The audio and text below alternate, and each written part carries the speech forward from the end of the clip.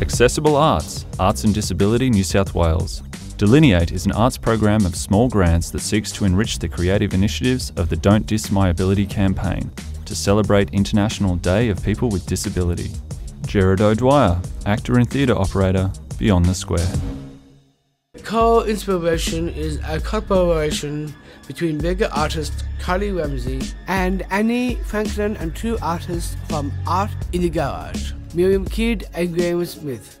The collaboration explores mutual points of inspiration, difference, and shared creative potential in visual arts media. The project will produce an exhibition of the collaborative works.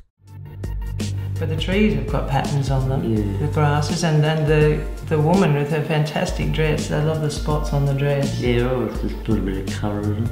And you just did her from your from your imagination. Yeah, I do it from imagination. Yeah. And I, I do it a bit more from real life, but I think I might learn from you how to do it a bit more from imagination. Yeah. I like the way you draw figures. Annie Franklin, artist. Artworks laid out around a room feature figures in brightly patterned clothing. Kylie Ramsey, artist. Looking at this, look at all these beautiful textures. A stripy artwork. I mean, that's lovely, isn't it? That's where you've done some drawing and some um, um, um, painting.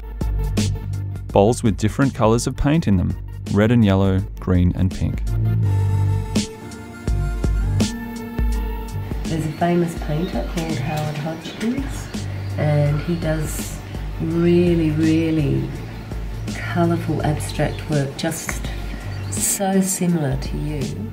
You get the pink from underneath coming through the red. Yeah. And, and when you paint, because Graham really enjoys painting wet into wet. Wow, how does that stand out? Don'tdismyability.com.au, New South Wales Government Family and Community Services.